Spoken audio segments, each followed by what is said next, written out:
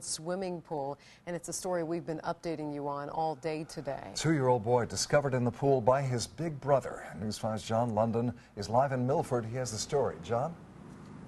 Yeah, uh, Jack, we're at uh, Children's Hospital now where the boy is hospitalized here, and the hospital officials are not disclosing the boy's condition, but uh, the daughter of the woman who pulled him from the pool tells News 5 it's her understanding that the boy's condition has stabilized in ICU. Tonight, we're told the boy's mother, father, and the babysitter are focused intently on the boy's recovery here. This is the backyard where two year old Landon Tincher was romping with his six year old brother this morning. And this is the pool that little Landon climbed into unnoticed. The uh, victim was playing with his older brother, uh, I think six years old, and uh, at some point couldn't find him and uh, went in to get an adult. Police say the boy had climbed up the ladder and went into the water. Neighbors in the vicinity of Michelle Trail in Miami Township. It's just a tragedy. Hope, hopefully, a child's okay.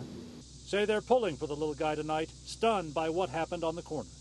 Police say Catherine Costa, watching her three grandchildren and babysitting those two brothers and two other kids, told them the two brothers were out of her sight for a minute or two. That turned out to be enough time for a tragic turn of events. Landon face down in the above ground pool. She actually went into the pool, got him out, and started CPR right away, which was a huge plus for him. Police tell us the caregiver was so distraught they were unable to talk with her at length, but they tell us nothing they've seen so far rises to the level of criminal negligence. They say the empty feeling of an otherwise fun summer day points up the preventive steps that can be taken for backyard swims. There are alarms that can be placed on pools that will detect when a, a child falls or jumps into a pool. Uh, ladders can be removed or locked in the up position.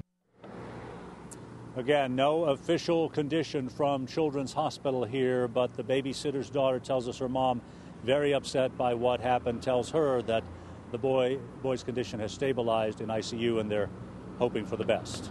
Reporting live at Children's Hospital, John London, News 5.